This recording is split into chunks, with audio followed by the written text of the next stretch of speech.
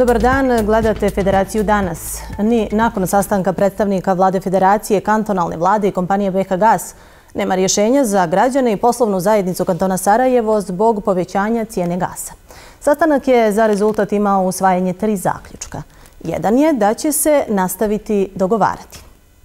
Kanton Sarajevo je najveći kupac gasa i kao takav tvrdi o vladi postao je talac visoke politike. Izlaz iz ove pozicije je otplata ratnog duga. O tačnom iznosu i načinu zatvaranja tog duga u narednim danima izjasnit će se ministri financija obje vlade. To je jedan od kamena spoticanja e, oko formiranja cijene e, generalno generalno za naše tržište. Znači, mogli bi e, imati bolju cijenu ako bi razriješili ove E, više decenijske probleme oko otplate starog duga. Otplati se taj ratni dug, federacija ga otplati, zatim mi uredbu koju imamo na snazi da je jedini jednog invest ovlašten za uvoz i plin u Federaciju Bosne i Hercegovine, stavimo van snage i kanton Sarajevo može uzimati plin od kogod hoće. Inače, ukupni ratni dug iznosi oko 92 miliona maraka. Federalna vlada između ostalog zaključeno je neće podnijeti dio troška za poslovnu zajednicu i građane u kantonu Sarajevo. O većini stvari tokom sastanka se kažu nisu složili, osim da će se dogovarati. Resorni federalni ministar predložio je da se s ovom problematikom ide prema vijeću ministara BiH, te da se počnu pregovori s Gazpromom zbog svih problema sa RS-om u vezi sa gasom i dugom. Premijer Forto je ponovio da ne žele biti taoci visoke politike. Vi da bi to mogli riješiti riješiti, morate riješiti na nivou države. I tu smo mi pozivali kantone, svi, mi svi moramo izaći tu borbu. Privrednici će uvećane majske račune za skoro 30% dobiti za nekoliko dana. Nova opterećenja za građane i BH privredu ostaće dok se nadležni ne dogovore o smanjenju cijene gasa. Iako je kraj grine sezone, građani će u minuse.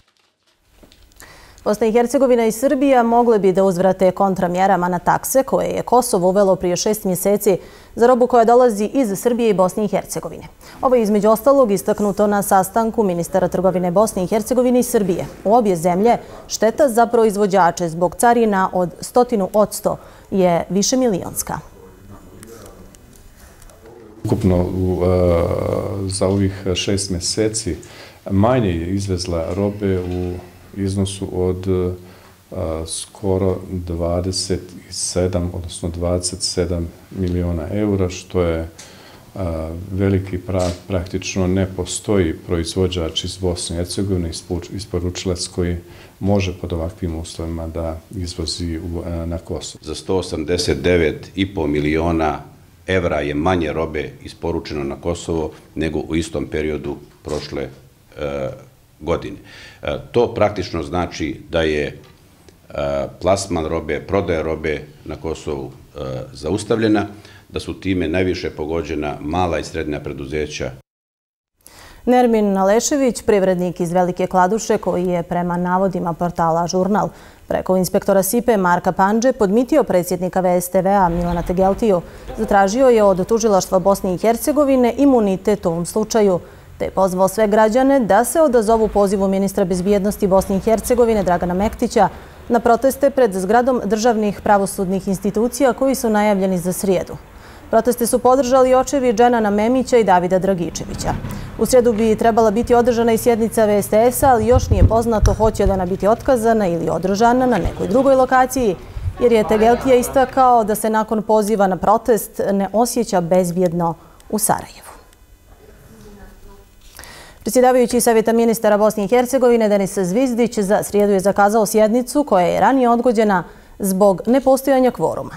U pozivu na sjednicu navedeno je da se Zvizdić o dnevnom redu konsultovao sa svojim zamjenicima Vjekoslavom Bevandom i Mirkom Šarovićem. Na dnevnom redu je 60 tačaka, među kojim je odgovor na pismo komesara za politiku susjedstva i pregovore o proširenju Johanesa Hana o stepenu realizacije reformskih mjera uvezivanja. Na dnevnom redu će biti i nacrt zakona o zvaničnom vremenu u Bosni i Hercegovini te prijedlog odluke o dopuni tarife administrativnih taksi i druge. Podsjećamo, posljednja redovna sjednica održana je 4. aprila. Hoće li novi sastav Evropskog parlamenta značiti promjenu do sadašnjeg kursa Evropske unije prema Zapadnom Balkanu za našu zemlju, ali i zemlje regije koje čekaju na status kandidata, ovo pitanje veoma je bitno. Meha stručnjaci tvrde da neće biti većih promjena. Je li poljuljana ravnoteža moći Evropske unije? Komotnu većinu zadržale su proevropske partije, no primjetno je i jačanje populističke desnice. Zbog svega toga postavlja se pitanje da li će i kada Evropska unija biti spremna na proširenje. Posebno je ovo bitno za našu zemlju koja čeka na status kandidata.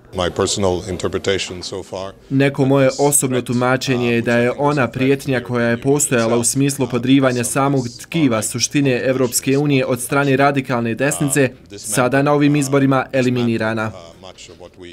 Dramatičnih promjena u evropskoj politici, a koje suditi prema rezultatima izbora, ne bi trebalo biti. BH stručnjaci smatraju da zemlje Zapadnog Balkana mogu biti zadovoljne budućim sastavom Evropskog parlamenta, ali da prvo trebaju pospremiti svoje dvorište. Mislim da je vrlo jasan i izražen stav te grupacije prema proširenju.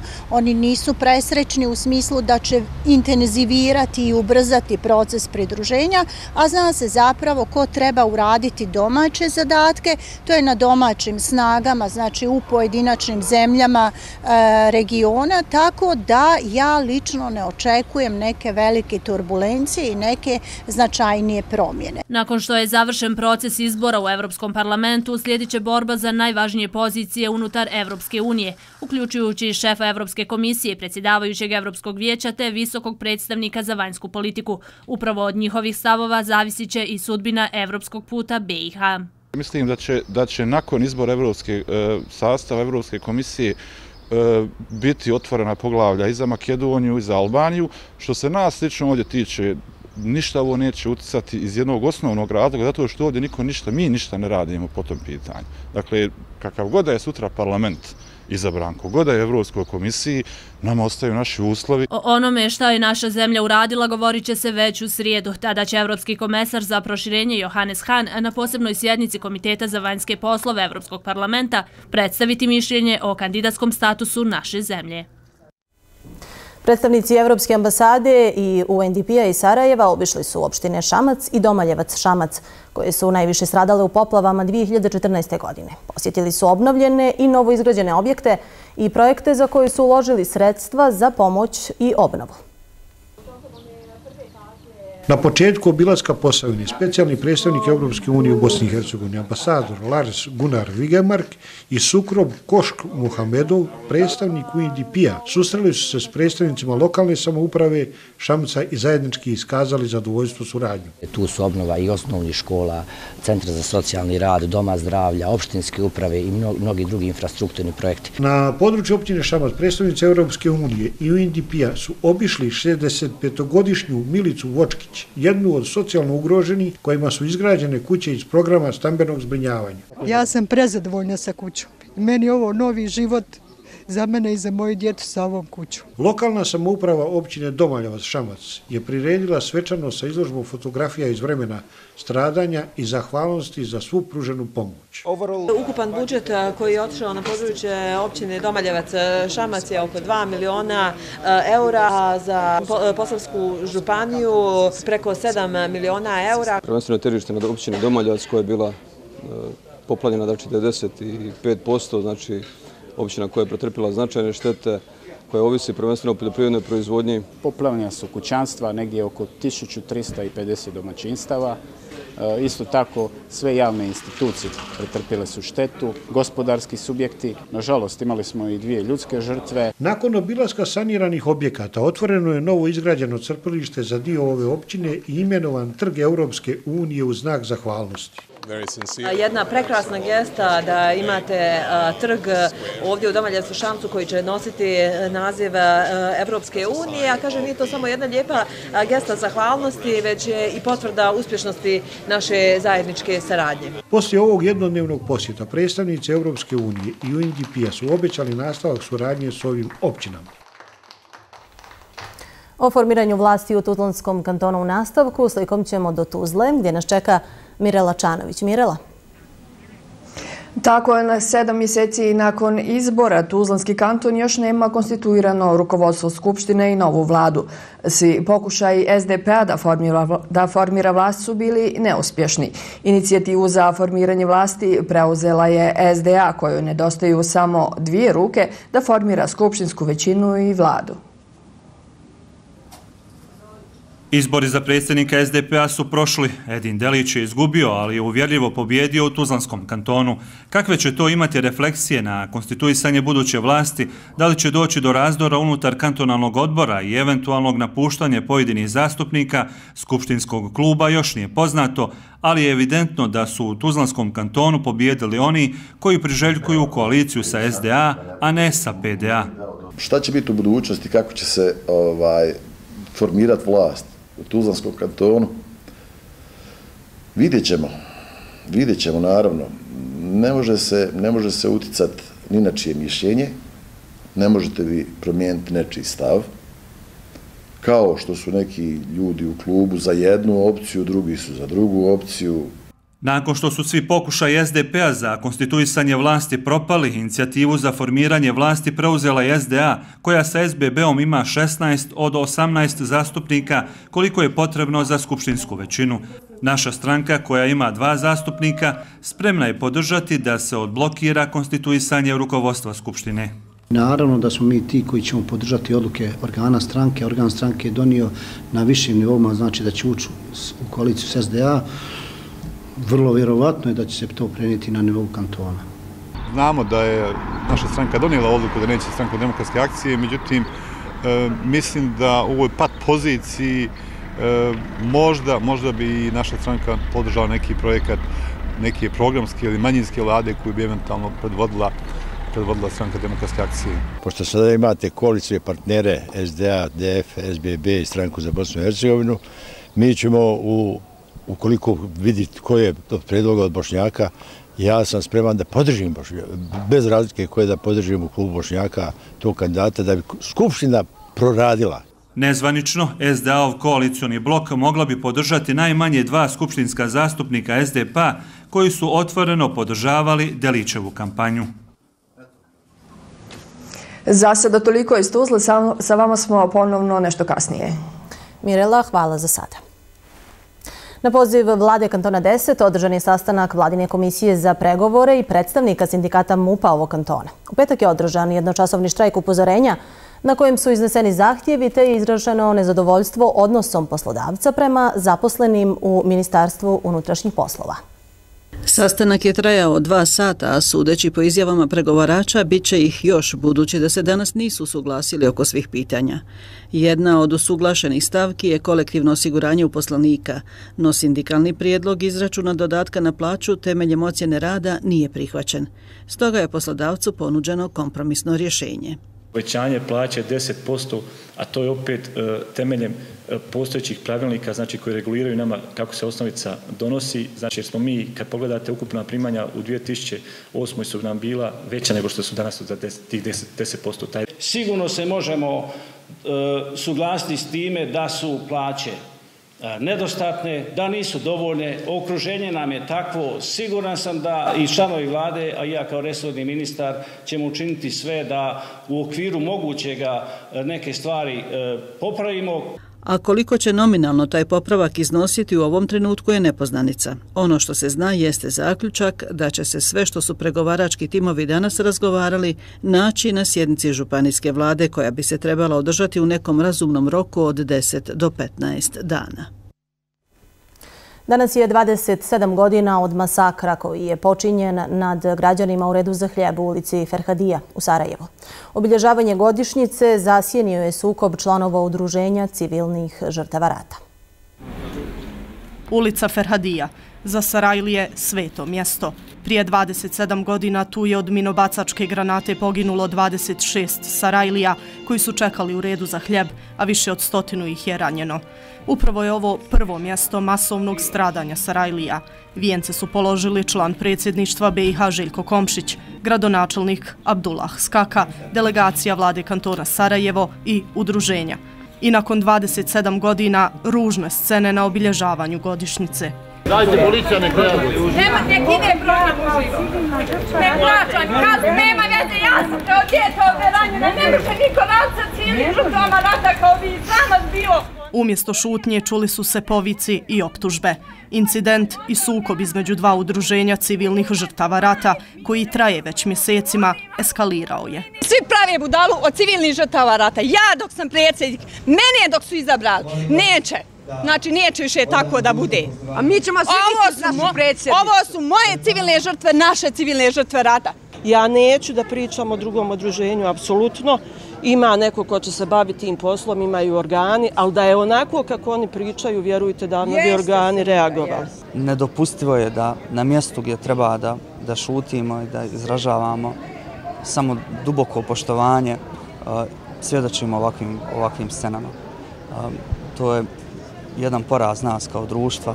Ubijene Sarajlije nisu zaslužile da se o ovoj temi raspravlja na ovaj način.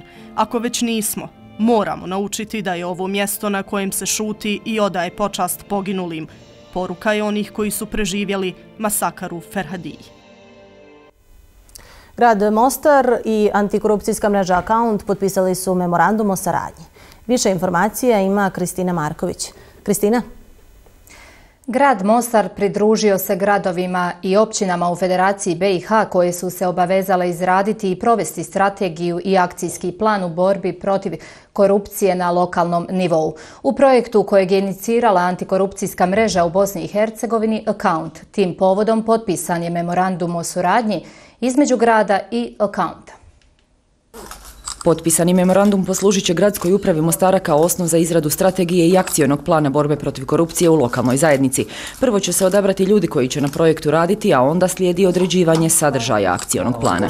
E, Gradska uprava će zaista e, istražiti svoje koruptivne rizike sa svojim zaposlenicima. Zajedno sa našim kolegama će onda napraviti plan koji je realan, koji je ostvariv. I čija će se provedba moći pratiti, naglašavaju u nevladinim organizacijama koje na akantovom projektu rade već duže vrijeme, odnosno koje prate projekt u administracijama Čitluka, Ljubuškog, Čapljine i Tomislav grada. I tu se zaista provode već ti akcioni planovi i e, gradska, e, gradske, odnosno općinske uprave se pridržavaju onoga što su e, propisale i na što su se same uvezale. I u Mostarskoj se gradskoj upravi nadaju uspjehu da će on zaista zaživjeti u praksi, a da neće ostati mrtvo slovo na papiru kao i mnogi do sada što se tiče borbe protiv korupcije i na području države i na lokalnom nivou. Akauntov projekt borbe protiv korupcije provodi se kako bi lokalne uprave pokazale opredjeljenost prema transparentnom poslovanju. Mostar će zato, ako se uzme u obzir da se gradska uprava već suočila s krivičnim prijavama zbog poslovanja u komunalnim djelatnostima, biti izazov. Istraživanja pokazuju da su mladi u Bosni i Hercegovini nedovoljno zainteresirani za političke i društvene događaje, te da su društveno neaktivni. Malo je onih koji svojim radom žele osvijestiti javnosti i potaknuti na rješavanje različitih društvenih problema. No ipak postoje. Mi donosimo priču o dvije mlade aktivistice iz Hercegovine koje su posvećene ideji poboljšavanja položaja mladih u društvu.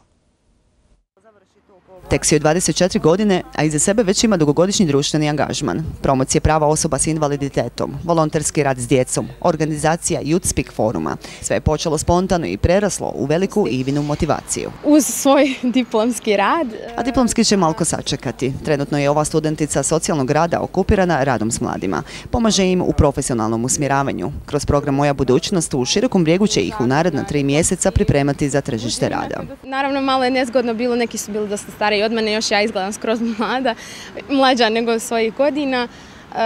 I onda je to malo bilo, ono, možda iz početka, meni malo neugodno, ali te edukacije se događaju čitavom Europom, da pričaju, znači mlade educiraju mlade, ne, ne, više, ne ide više taj, ajmo reći, e, edukacija da stariji uče mlade, jer E, puno je opuštenija atmosfera, e, žele svašta nešto pitati, uvijek su spremni i naravno ja sam uvijek dostupna na telefon. Dostupna je i Suzana, njezina ciljna skupina aktivizma su srednjoškolci. U Grudama provodi projekte njihova osnaživanja u osobnom i društvenom razvoju. Mladi se educiraju o tome što društvo očekuje od njih. Pa mladi nisu dovoljno aktivni danas ovdje u mom okruženju. E, mnogi se predstavljaju kao aktivisti, naravno to ne vidimo po njihovim rezultatima. E, imamo puno mogućnosti, samo je pitanje koliko ćemo te mogućnosti i prilike iskoristiti. E, jer na kraju krajeva svi smo suodgovorni za društvo u kojem živimo. Odgovornošću koje su ove dvije mlade aktivistice preuzele na sebe, žele razuvjeriti sve one koji još uvijek smatraju da promjene nisu moguće. Iz Hercegovine za danas toliko. Hvala i doviđenja. Kristina, hvala i doviđenja. Roditelji čija djeca pohađaju nastavu u centru Vladimir Nazor opet su održali polučasovni mirni protest. Ovaj put u centru, a nastava je za vrijeme protesta bila obustavljena. Roditelji izražavaju nezadovoljstvo zbog smjene aktuelnog VD direktora centra Mersudina Kadrića i imenovanja Maide Idrizović. Ponovnim protestom roditelji su pokazali da ne odustaju od svojih zahtjeva, odnosno imenovanjama Ide Idrizović na čelo centra Vladimir Nazor, za koju kažu da je politički podoban, a ne pogodan kandidat. Ipak ni svi roditelji nisu istog stava. Mi smo izabrali znači našeg direktora Mersudna Kadrića, koja ga djeca jako vole, rotelji, cijene. Mislim, ne znam šta se pravi ovoliki problem.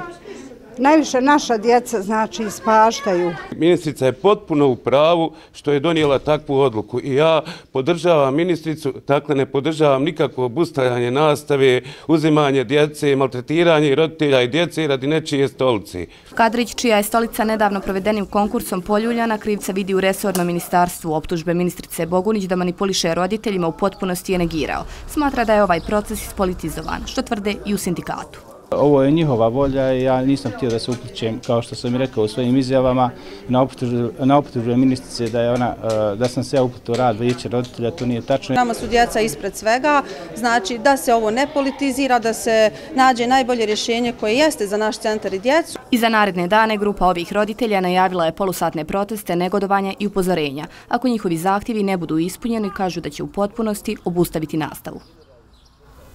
Eksterna matura, to je tema o kojoj govorimo u nastavku. Priču donose kolege iz Tuzle. Mirela, ti znaš detalje.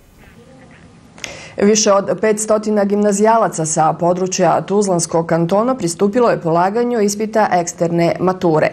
Nakon polaganja testa općeg znanja koji je prevedeno prošle sedmice i čiji rezultati su eliminatorni, ove sedmice će učenici pristupiti polaganju testova iz jezika i ostalih prirodnih i društvenih predmeta. Prilikom polaganja testa općeg znanja u okviru eksterne mature, gimnazijalci na području Tuzlanskog kantona morali su odgovoriti na stotinu pitanja da bi imali 100% rezultate. Nadležni u komisiji Pedagoškom zavodu Ministarstvu obrazovanja ističu da su katalog sa pitanjima dobili na vrijeme i da su imali dovoljno vremena za pripremu. Ovo je 14. po redu eksterna matura gdje e, naši e, učenici završenih gimnazija polažu opći ispit općeg znanja. Mi ćemo ostaviti ovaj dio na sljedećem ispitu za gimnaziju, ali za, za tehničke škole imat će integralni test koji će sadržavati samo tri dijela ispita iz testa općeg znanja, znači matematika, strani jezik i, i naš materni jezik. Prvi put ove godine rezultati sa eksterne mature bit će vrednovani prilikom upisa na fakultete. Prijemni se očekuje početkom ovaj, jula, a konkurs da bude raspisan u mjesecu junu za studijske programe Univerziteta u Tuzli. Gimnazijalci će već sutra u okviru eksterne mature polagati testove iz matematike, bosanskog jezika književnosti, filozofije, biologije i historije. Toliko u današnjem javljanju iz Tuzle. Doviđenja. Mirela, hvala i doviđenja. U nastavku saznajte kako nas vrijeme očekuje narednih dana. Sutra u našoj zemlji pretežno oblačno vrijeme. Vjetar slab do umjeren južnog smjera. Najniža jutarnja temperatura od 9 do 15, najviša dnevna od 16 do 22 stepena. Za sredu i četvrtak meteorolozi najavljuju pretežno oblačno vrijeme s kišom i pljuskovima. Toliko od ekipe Federacije danas. Hvala što ste bili s nama. Doviđenja.